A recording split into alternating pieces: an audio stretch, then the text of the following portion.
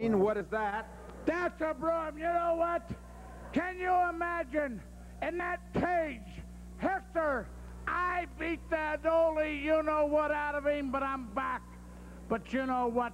That Gordman, and I love this because I've been up to a lot of places. I drink a lot of different beer. I've done a lot of things.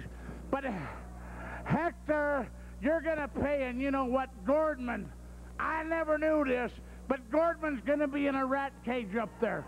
Tell the people, there's no way Gordman can extract me. And if you idiots out there don't know what that is, I ain't going to tell you. Gordman's going to be hung up above, up above the ring. How many feet? How many feet? Gordman will be in the rat cage. It's 50 foot high right over the ring so everybody can see it. And I'm in there with Hector. What's Gordman going to do then? What is Gordman? There's no way Gordman can get down in there after me.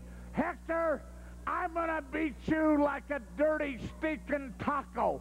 I'm going to step and I'm going to stomp on you, boy. You hear me? Now, with Gordman, I ain't going to holler no more because these people are stupid. They can't answer. They can't understand, so I'll talk quiet.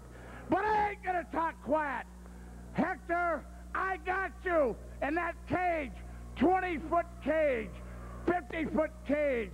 But Gordman's up above, and there's nothing Gordman can do. And you know what I heard? I heard his brother run Chavo. He was afraid to even come down. So what do you think's going to happen in that cage match? What do you think's going to happen? Well, I'm going to be here to see it, and then I'll find out for sure. You know I'm going to beat the hell out of him. You know darn well I'm going to beat Hector. I'm going to beat you once and for all and get rid of you. Gordman, I'm going to beat you. Chavo, I'm going to beat you. And then me, Piper, and Bass is just going to sweep everybody out. Well, that's Moondog. Ah!